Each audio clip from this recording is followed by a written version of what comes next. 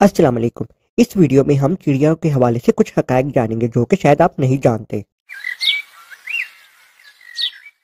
चिड़िया इंसानों के करीब रहना पसंद करती हैं। असल में उसकी वजह यह है ताकि इनको फ़ूड सप्लाई कंटिन्यूसली मिलती रहे।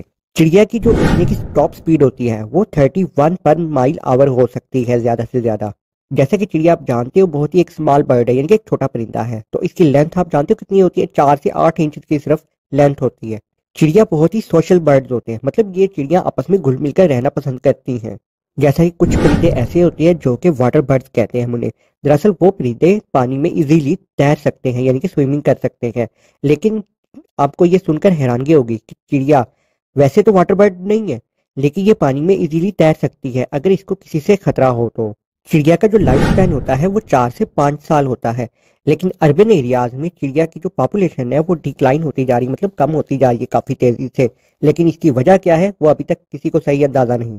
चिड़िया अपना घोंसला ज़्यादातर ब्रिजेस के नीचे मतलब पुल के नीचे बनाना पसंद करती हैं या फिर दरख्तों पर।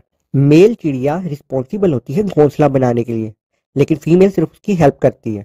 आपको यहाँ पर यह भी सुनकर हैरानगी होगी कि चिड़िया बाई नेचर यानी कि यूँ समझ लीजिए कुदरती, वो वैसे कार्निवोर्स है। इसका मतलब ये होता है ऐसी जानवर होते हैं जो कि गोश्त खोर होते हैं, यानी कि गोश्त खाने वाले।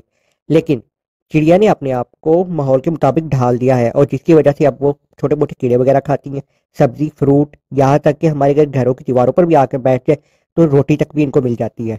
चिड़िया काफ़ी इजीली शिकार बन जाती है कैट्स डॉग फॉक्स और स्नेक्स का। चिड़िया वैसे तो टेरिटोरियल एनिमल नहीं है, लेकिन फिर भी ये अपने घोंसले पर किसी दूसरी चिड़िया को कब्जा नहीं करने देगी। चिड़िया हर साल, काफ़ी ज़्यादा अपने बच्चों को हर साल जन्म देती हैं और फीमेल तीन से पाँच अंडे दे सकती है एक टाइम में। और जो इनाकुबेशन टाइम होता है मतलब उन अंडों में से जो बच्चे निकलने होते हैं छोटे, वो होते हैं, वो होता है बारह से पंद्रह दिन का। और अंडों में से जो छोटे बच्चे निकलते हैं, वो पंद्रह दिन तक अपने आप के काबिल हो जाते हैं। तो आज की वीडियो में सिर्फ़ इतना ही। अगर आपको अच्छी लगी तो लाइक कर देना चैनल को सब्सक्राइब कर देना। अल्लाह हाफिज़।